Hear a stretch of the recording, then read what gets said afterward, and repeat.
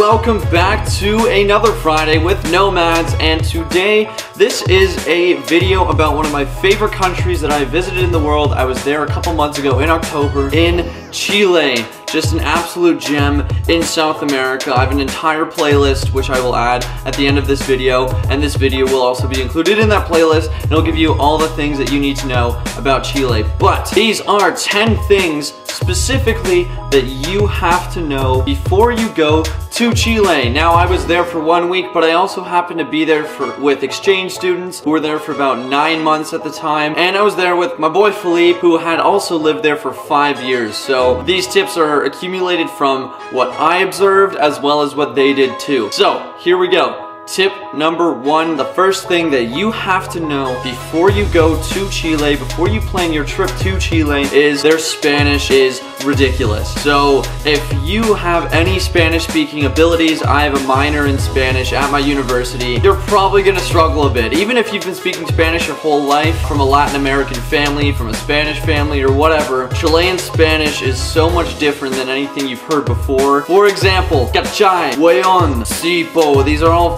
phrases and words that you're gonna have to be familiar with. And como estás down there is como tai. And it's a, it's a pretty big challenge.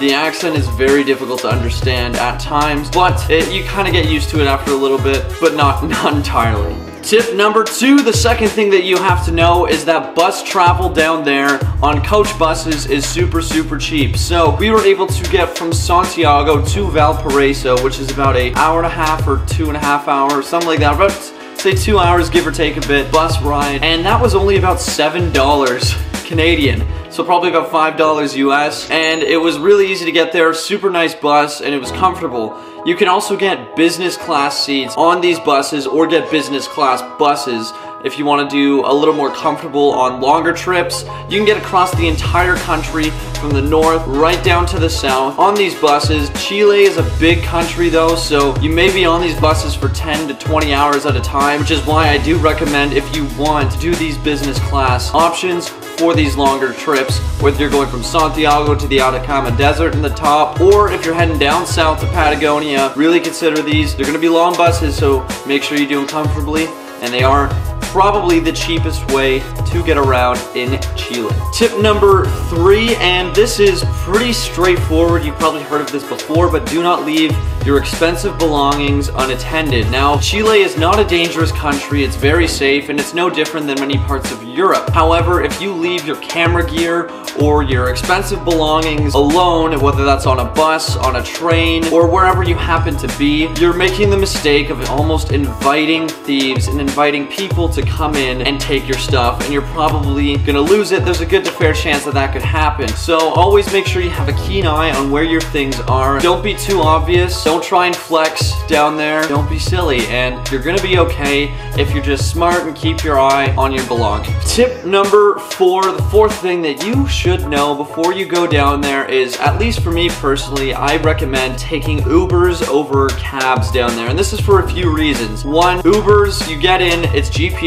based, so they get from point A to point B right away as simply as possible. Not only that, if your Spanish isn't very good, or your Chilean Spanish is even worse, which is most likely the case, then you're still able to get from where you are to where you need to go without any language barrier difficulties. The fifth thing that you have to know before heading down there, and this is a super fun tip if you like to get tipsy, and that is Chilean cocktails are a little different than what they are here in Canada, North America, and just the Western world. So a lot of the bars or places that you go to will measure their drinks out here very standardized and they have the ounces down almost exactly to how they want them to be. Now in Chile, what they tend to do is they'll start pouring your drink, they'll put some pisco in it. If you don't know, pisco is their local liqueur and it's really good. Try it out. And they'll put some pisco in it, they'll have a little conversation with the other bartenders, other people, and they're like, oh, I should probably put some Coke in this or some Sprite. And then they sort of top it off with that. So your ratios are gonna be a lot stronger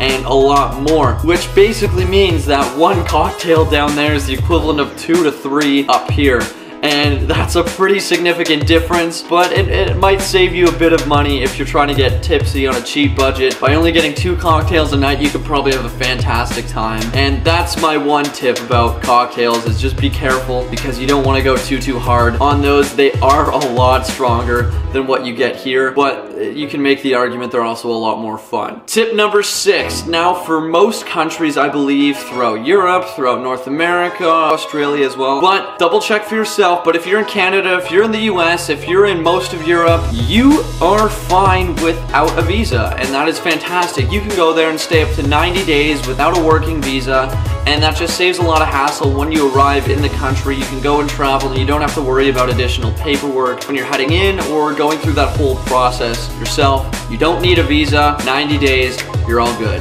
The seventh thing that you have to know is understand the Luca. So you're gonna hear the word Luca or Lucas so many times when you're down there, and that just basically means it's a way that they describe their currency. So for example, 5,000 Chilean pesos, they might say 5 Luca or 5 Luca. And that's pretty standard down there. And if you wanna know the currency sort of exchange rate, the rule of thumb, at least in Canadian dollars, is 5 Luca, 5,000 pesos, is the equivalent of about $10 Canadian. So you basically just take your Luca and double it, and that's what it is in Canadian dollars. Always understand your currency. The eighth thing that you have to know before heading down there is that PDA, public displays of affection, are a lot more common in South America.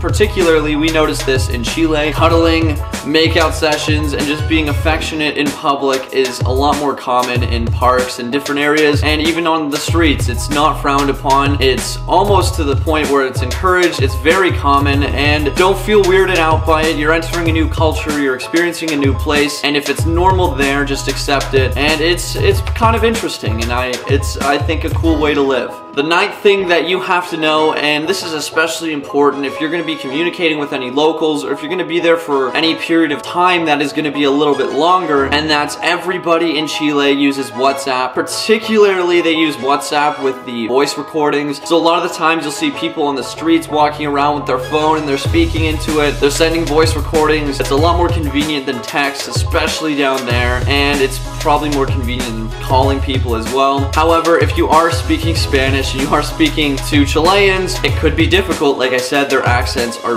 very, very different than what you've probably experienced in other countries, and it is very hard to understand at times. But Always use WhatsApp if you're trying to communicate with locals or with friends. Uh, it's a very simple way to just keep yourself going. And the final tip, tip number 10, the 10th thing that you have to know before you head down to Chile for the first time is that Chile has something for everybody. Whether you're into the bustling city of Santiago one of the largest cities in South America. If you're into the mountains, which are just outside of the city, also go along the whole southern tip to Patagonia, where you've got incredible views. You can go to the north, you have the desert, you have the Pacific Ocean and beaches and beautiful waterfronts. Everywhere, there is something for everybody, whether you want to relax, tranquilo, whether you're more into adventure, or whether you're just looking for a bit of both. Chile has something for every single traveler, and I really encourage you to go check check it out, to experience it, and to really give everything that you have because it's a great place. If you're into wines, if you're into food, it's got something for you and for your needs and what you're looking for. So really don't be afraid to go all the way to South America.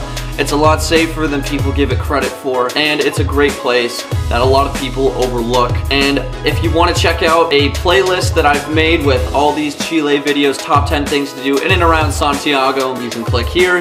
If you want to see my Chile highlight reel of all the best footage and shots compiled into one montage, into one edit, you can click here. And until next time, thank you for watching. See you next Friday, and bye.